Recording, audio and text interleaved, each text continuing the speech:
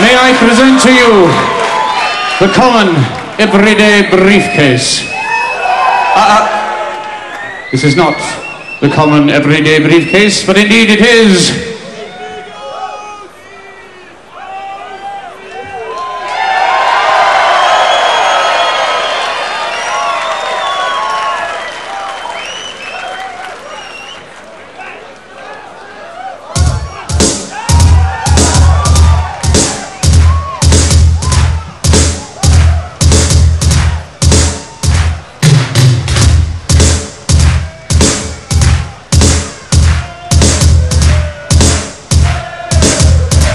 Thank you.